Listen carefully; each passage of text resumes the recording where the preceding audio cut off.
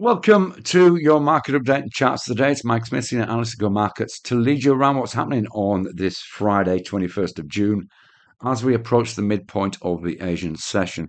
Just a quick look across what's come across the news wires.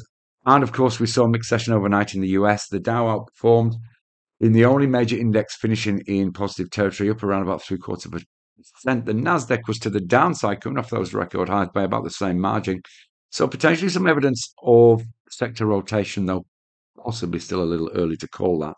US futures are trading flat in Asian trading. Asian equity markets are mixed. We've got the Nikkei slightly outperformed. The ASX is trying to hold on to positive territory, just above neutral as we record this. European futures pointing to a cautious open this afternoon. We saw the US dollar index edge higher, but still within a range. It is towards the top of that range, however. Despite USD strength, we saw gold also looking strong unusually, reached that 2330 resistance and moves up over uh, 2350 in this morning's trading. Copper was mildly positive yesterday, but softer in Asia so far, but it's still around the top of that recent range. And one of the outperformers of the week is oil. That pushed higher again last night to end of April levels.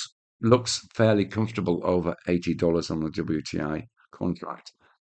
Bitcoin, however, hasn't moved all week. It's just sat around neutral for the last three days after it breached the support level. So, certainly no significant selling pressure to take it lower at this stage.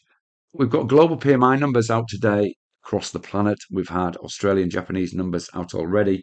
Both those are shy of expectations. And it's probably not good news, generally speaking, if that is something that continues throughout the day. So markets will be keeping an eye on that.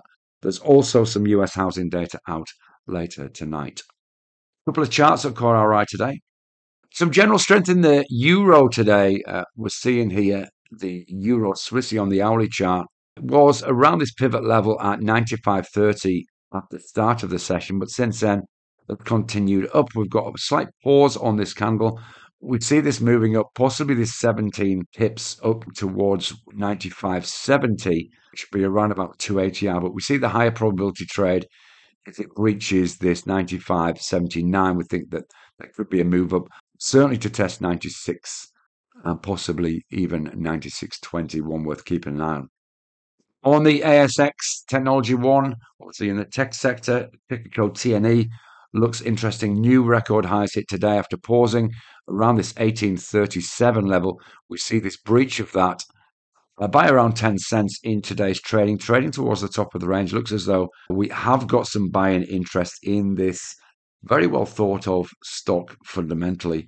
So, one to keep an eye on, make sure that it stays above that in the last hour of the trading day before considering any action, but one for your radar, even if it doesn't, uh, for early next week. Trade safe and see you again soon. Bye bye for now.